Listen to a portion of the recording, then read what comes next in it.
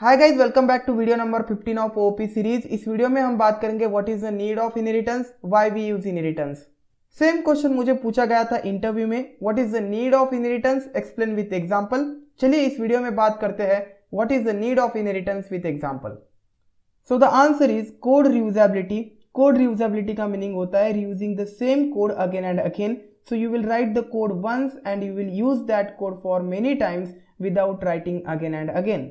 So this is the one reason. Second reason is when you have relations among classes. So चलिए इसे example के through समझते हैं. Consider I am creating bank management system by using object oriented programming इसमें मैं inheritance का use नहीं करूँगा. बैंक मैनेजमेंट सिस्टम में बहुत सारे क्लासेस आते हैं. सो so, हम दो क्लासेस कंसिडर करते हैं. Class customer and second class employee consider customers will have these five methods and employees will have this many methods. First method is set personal details हम customer से personal details को input लेंगे and ये method database में उन personal details को save करेगा. So this is a setter method next method is a getter method get personal details so जो भी डिटेल्स सेव की गई है इन द डेटाबेस उन डिटेल्स को फेच करने का काम ये मेथड करेगा एंड वो डिटेल्स हमारे सामने प्रिंट करेगा. Then third one is set education details education details को एज ए इनपुट लिया जाएगा डेटाबेस में सेव किया जाएगा.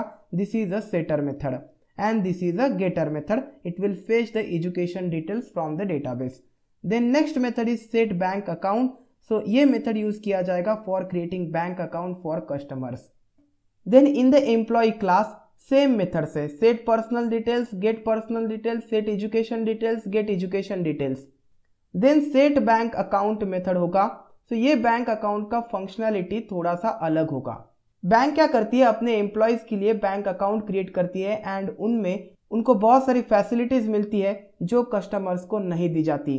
So set bank account this method and this method both have different functionalities so name same है but functionalities different है। ये आपको ध्यान में रखना है।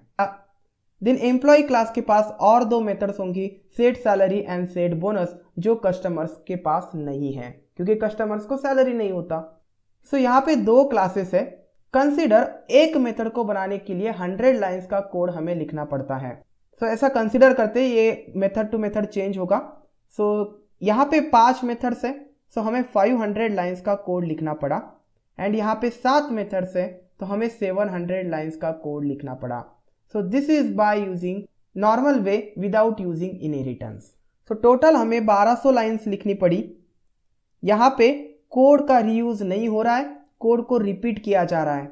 इसमें सेम कोड होगा, इसमें भी सेम कोड होगा। बट यहाँ पे रिपीटेशन हो रहा है इन द सेम प्रोजेक्ट अब बात कर सो कस्टमर्स क्लास में हमने पाँच मेथड्स लिख दी। Set personal details to set bank account so यहाँ पे हमें 500 लाइंस का कोड लिखना पड़ा। बट चार मेथड्स ऐसी है जो कि कॉमन है between customers and employees these are nothing but set personal details get personal details set education details get education details so हर एक एम्प्लॉय को एजुकेशन डिटेल्स होगा पर्सनल डिटेल्स होंगी. हर एक एम्प्लॉय को personal details and education details होंगी. So instead of writing this four methods again हम क्या करेंगे? इस एम्प्लॉय क्लास को इनहेरिट करेंगे फ्रॉम दिस कस्टमर्स क्लास इससे क्या होगा? एम्प्लॉय क्लास के जो ऑब्जेक्ट्स है, वो एक्सेस कर पाएँगे कस्टमर्स क्लास की मेथड्स को। देन यहाँ पे एम्प्लॉयज़ में सेट बैंक अकाउंट मैंने लिखा है। क्यों लिखा है? क्योंकि इन दोनों का फंक्शनैलिटी अलग अलग है। सो so आपको फंक्शनैलिटी कंसिडर करना है। इसीलिए मैंने ये एग्ज़ाम्पल लिया। Then set salary and set bonus so ये एम्प्लॉयज़ के लिए है। So as employee class is inherited from customers class so employee class के ऑब्जेक्ट्स कस्टमर्स क्लास के मेथड्स को एक्सेस कर सकते हैं. But vice versa is not possible so customers can not access to this set bonus method can not access to set salary method यहाँ पे हमें 300 lines का कोड ही लिखना पड़ा. So total number of lines हमने लिखी 800 lines of code so without using inheritance हमने 1200 लाइन का कोड लिखा था. विथ यूजिंग इनहेरिटेंस हमने सिर्फ़ 800 लाइंस का कोड लिखा. सो so, जितना कोड कम उतना परफॉर्मेंस अच्छा होता है। सो so, अगर कोड कम हुआ तो टेस्टिंग एंड डिबगिंग भी आसान होगा। तो इससे दिमाग का दही भी कम होगा मेंटेनेंस भी आसान होगा। बहुत सारे फ़ायदे होते हैं कोड कम होने के।